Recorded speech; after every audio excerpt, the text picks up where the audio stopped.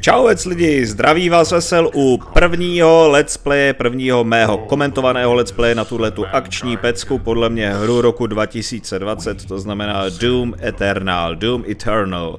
Eh, rozhodl jsem se proto z toho důvodu, abych vám ukázal aspoň v jednom díle, pokud by se tenhle let's play líbil, tak bychom samozřejmě navázali dalšími, že i já umím hrát tady tuto modernu, a že to je moje krevní skupina.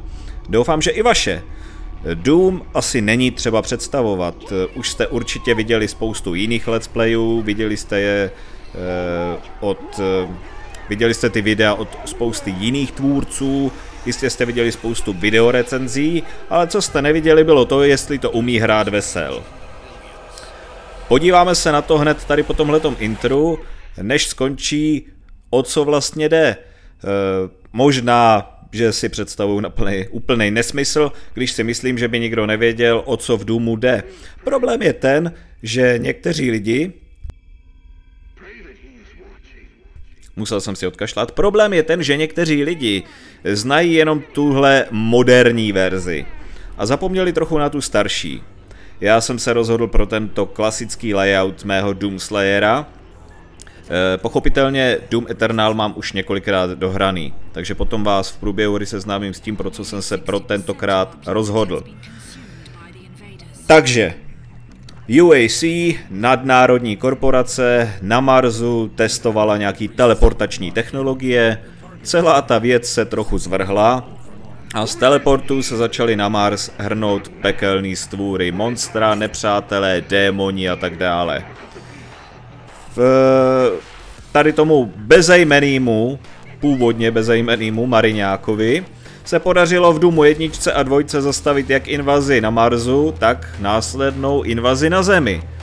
No ale nebyla by to moderní doba, kdyby se id Software nerozhodli, že obnoví slávu tady téhleté nejúžasnější akční pecky všech dob. A já se o to pokusím taky.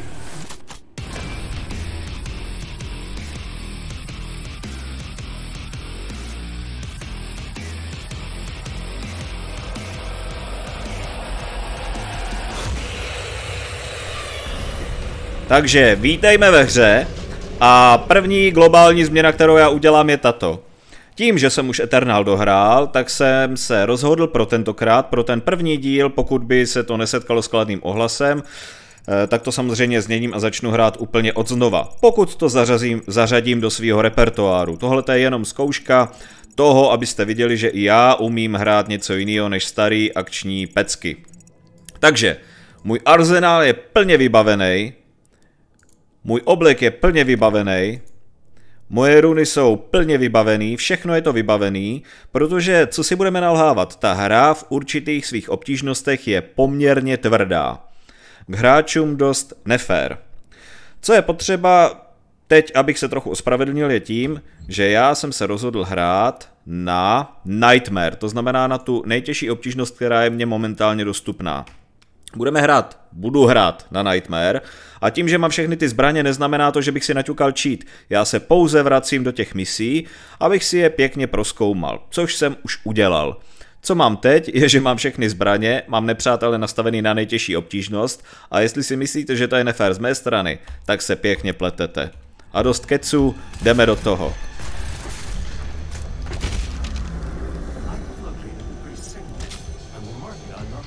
Tomhle levelu nám nejde o nic jiného, než se potkat uh, s Hellpriestem, to znamená s nějakým pekelným knězem, který ovládá tady tyhle ty oživlý mrtvoly. No a nám nezbyde nic jiného, než mu pořádně zakroutit krkem.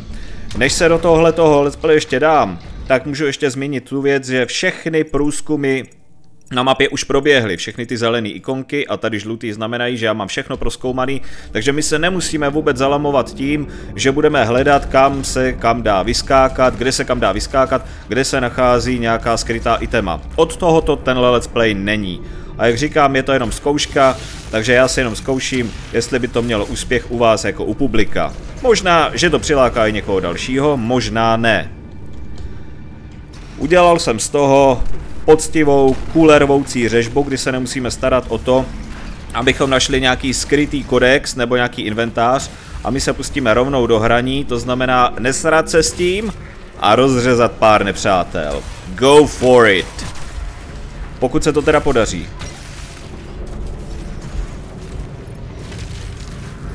Možná, že budu chvilkama vynechávat mluvení, protože nejsem zvyklý hrát takhle intenzivní střílečku v tom, abych ještě u toho něco říkal.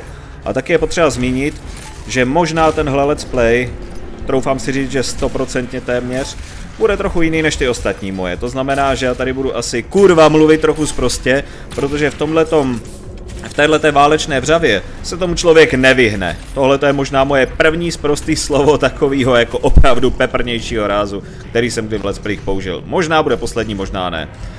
Co je potřeba však zmínit u této hry, u Duma Eternalu je ten, že tady se počítá s tím, že se s tím nikdo srát nebude. Tady neplatí žádný pravidlo šetření nábojů, tady platí to, že se musí všichni nepřátelé pokosit co možná nejrychleji.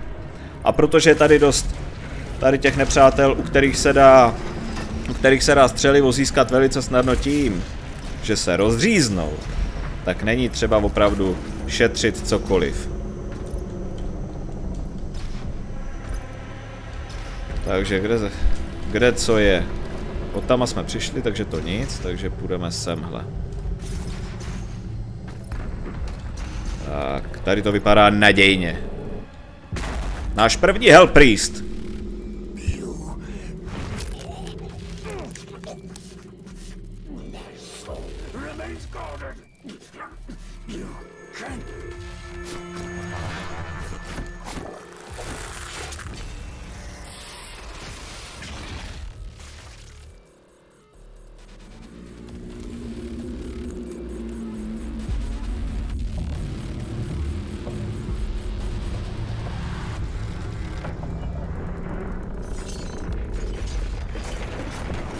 To bylo jedno, jedna z cutscén mých oblíbených. Doom Eternal je jimi prošpikovaný. A věřte mi, že stojí za to. Takhle teda momentálně vypadá země. Prvního Hellpriesta jsme zlikvidovali a invaze se snížila o 36,8%. Další dva nám zbývají. Tady tyhle ty pody Kdybych nehrál zpětně, tak by nám dali vylepšení na nějakou naší zbraň, ale protože už všechny vylepšení mám, tak není potřeba se tím zaobírat. Jediný, co na téhle mapě zbývá k nalezení, jsou tady tyhle ty tady tyhle ty ikonky, což znamená, že jsou tady extra životy. Jinak tady není nic, co by vesel už neměl.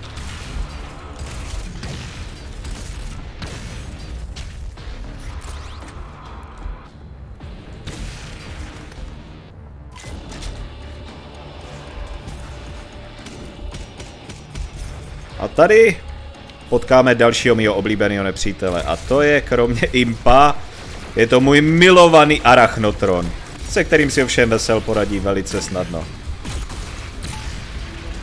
Došla nám dvouhlavňovka, což je moje nejoblíbenější zbraň, mimochodem mám ji lehce upgrade low, tady tím Fire Meat hookem, takže už se mně nestává, že bych měl problém e, s tím, e, s, se scháněním e, toho, se scháněním brnění.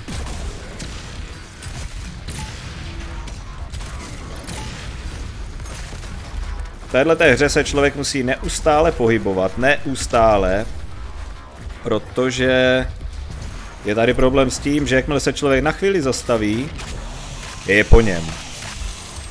Na rozdíl od Duma 2016, to znamená od té restartované verze série, je tahle ta lepší v tom, že motorová pila se postupně obnovuje sama. Jeden dílek paliva se vždycky za nějakou dobu obnoví, druhý a třetí dílek už musíte nazbírat samostatným sbíráním palivových nádrží. Pokud máte tři dílky, můžete rozříznout i ty největší nepřátele. Samozřejmě i hned přijdete instantně o veškeré palivo do motorovky, tak nějak podobně, to bylo v Doomu 2016, že čím větší nepřítel, tím větší spotřeba paliva. Samozřejmě bosové a opravdu ti nejvíc tough enemies, tak ty tím nedostanete. Na ty ani ta motorovka nestačí.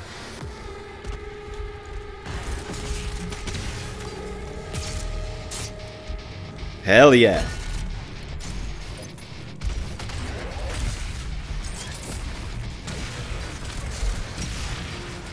Miluju kombinaci.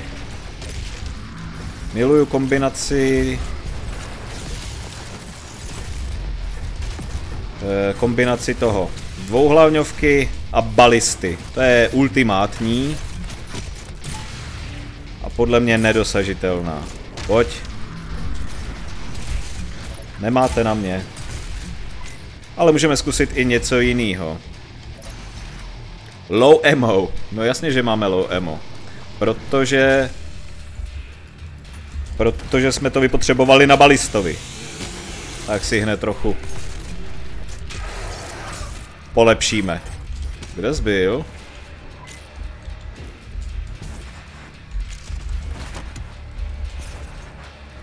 Výborně, druhý dílek. Tady nikdo není. Jak jsme na tom? Tady je někde ten skrytý život. A za náma ještě jeden. Museli bychom to hledat. Nevím, jestli se mě do toho bude chtít, ale můžeme se po téhle mapě trochu podívat, abychom se pokochali tím, jak tenhle úžasný ittech je udělaný.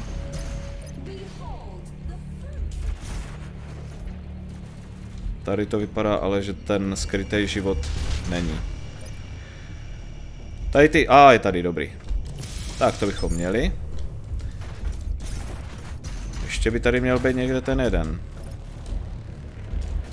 Ne, že by to bylo úplně potřeba, ale začínáme od píky, takže bychom je mohli nalézt. Další by měl být teda, jestli tomu dobře rozumím, tady na mapě. Pokud to budeme hrát, nebo budete někdy hrát úplně od znova, je potřeba uvést, že opravdu je tady potřeba dělat poctivý průzkum a někdy vás to zavede někam, kam chodit nemáte. To znamená, že ten život je někde tady, za zdí. Takže se budeme podívat za zeď jestli něco najdeme. Každá zbraň má svůj primární a sekundární mod. Tuhle brokovnici jsem měl eh, v Doomu 2016 nejradši. Měl jsem ji vždycky vylepšenou tak, že ještě ten blast dával dodatečný, protože jsem to měl maximálně úplně vylepšený. Téhle hře už tu brokovnici tak moc často nepoužívám. Nejčastěji mám na Doom Huntera jako automatickou rotační brokovnici. Ten klíček, tak. Ale jinak eh, je mě k nepotřebě.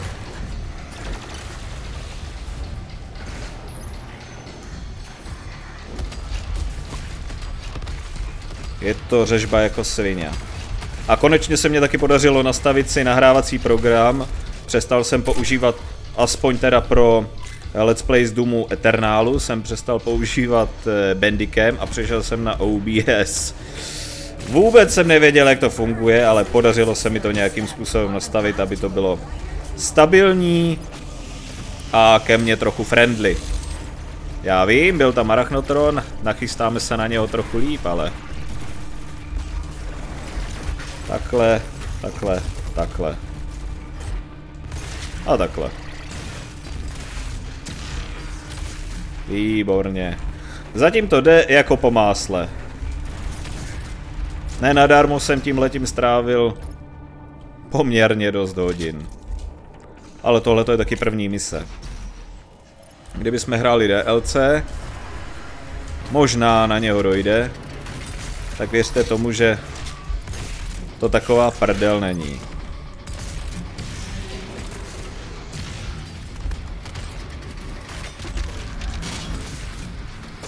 Výborně, tady máme kanistřík. Mám rád stabilně naplněnou motorovou pilu.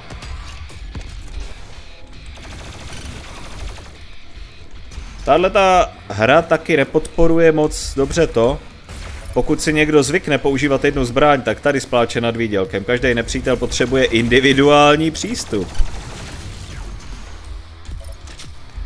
Dalo by se tomu říkat herní inkluze. Tady každý potřebuje nějakou svou vlastní péči.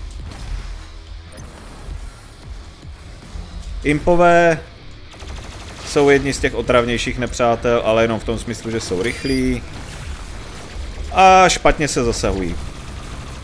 Co se týká Arachnotrona, ten má svoje skrytý místečka. Slabý. Hned si to ukážeme. Arachnotron má na vrchu kanon, který se dá zničit velice snadno. A pak už zbývá jenom Arachnotrona jednoduše odpálit. Pokud je ve skupině, už je to jiná písnička.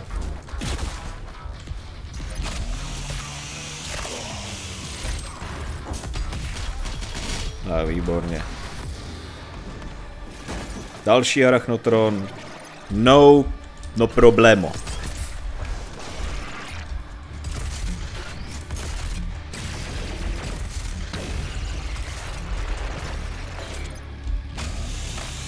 Tak, motorovou, motorovou pilu máme sice teď na nule, ale za to máme spoustu střeliva, který se nám bude hodit dál. Dnes, dnes byl tady ještě někdo, malinko se porozhlídnu, ale vypadá to, jo, že tady ještě jeden mrzáček je. Přece bychom ho tady nenechali takhle potulovat. Malá přilbice.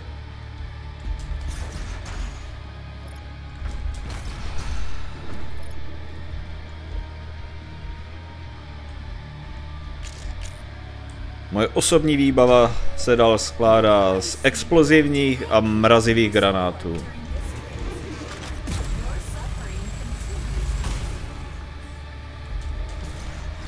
Ale to už jste určitě si všimli, že používám tady určitý věci. Jediná věc, která mě trochu na Eternalu vadí, jsou tady ty platformovací pasáže, které to tempo chtíc, nechtíc trochu zpomalujou. Tak. Další můj oblíbený nepřátel. Chapadílka.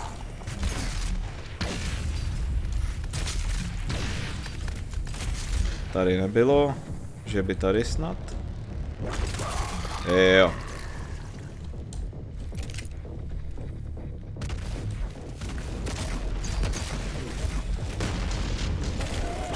Pokud Kekodémon spolkne granát, je to rychlý řešení. Můj Slayer je nastavený tak, pomocí achievementu, že mu neubližují exploze barelů a barely mě dávají special ammo.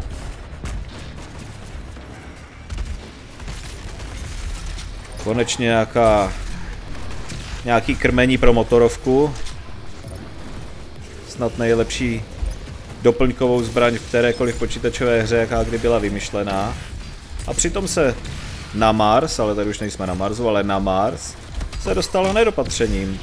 A to tak, že ji tam někdo omylem poslal zásilce. Tak pojď.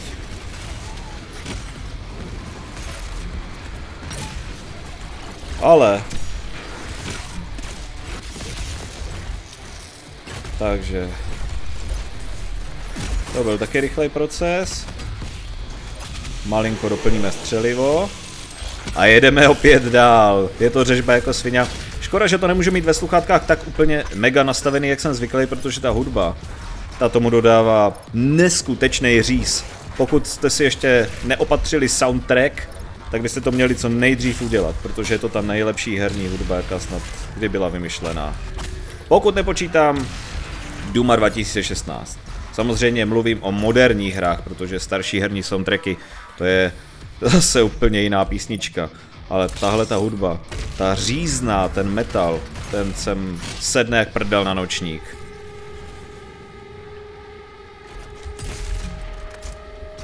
Kolik máme střeliva? Výborně, brokovnice. Takřka na full. Pokud nepřátelé hoří, dropujou pěkný množství armoru. Ale my máme všeho tak nějak dostatek, takže není třeba se tady nějak zalamovat. Já mám nejradši tu dvouhlavňovku. Prostě mám.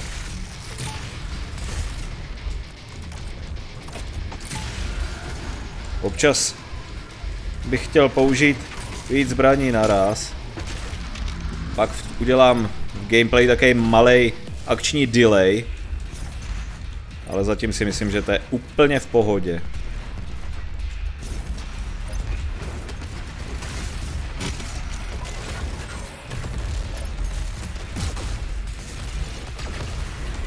No, dochází nám zase střelivo do našich pulzních zbraní plazmových. Takže jsme museli malinko zase přidat. Tady nikdo není, asi to pleto s nějakým tím stojanem. A nemáme, nemáme palivo. Nevadí. Khan Maker is nearby, to je vlastně náš takový hlavní nepřítel, pokud nepočítám Icon of Sin, Hell Priest a různý tady tyhle ty potvoráky další.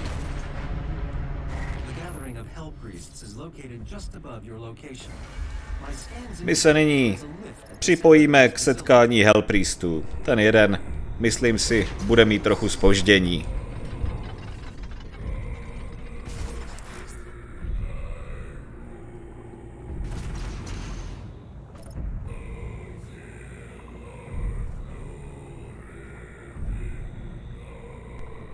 Užívejte si tu skvělou hudbu a senzačně optimalizovanou a udělanou grafiku. Já si stojím za tím, že tohle je hra roku 2020. Těšil jsem se na ní neuvěřitelně a Doom Eternal byl ten důvod, proč jsem si zase vylepšoval počítač a nakoupil herní grafickou kartu. Další generace. A myslím si, že to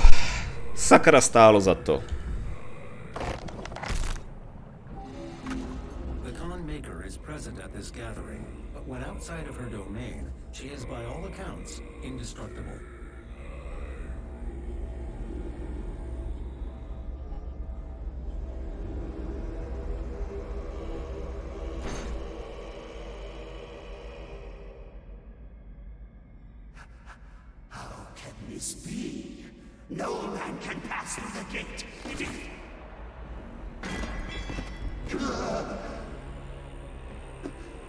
This stops nothing.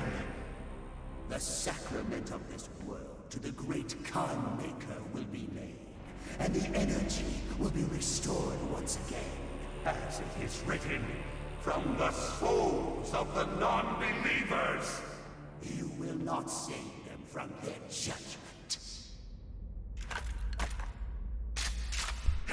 Doomslayer je ten největší kick-ass za poslední dobu. Mně by se tak líbilo, kdyby se někdo zhostil Duka a natočil, no natočil, udělal podobně kvalitní hru, aspoň podobně. Duke by si to sakra zasloužil, aby se konečně Doom a Duke zase setkali v jednom akčním univerzu. Jenomže o tom nerozhoduju já ani vy.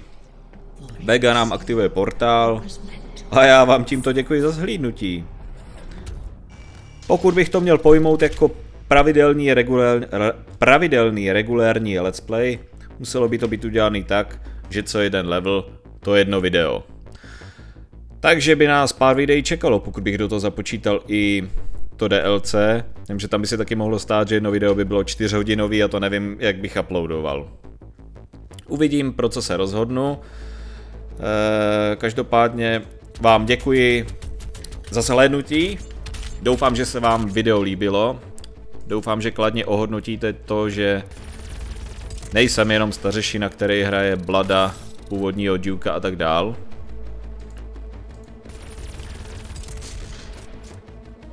Ale že Vesel, The Titan Slayer, umí hrát i moderní pecky. Díky za zhlídnutí, uživejte života pařte hry a čau vec lidi.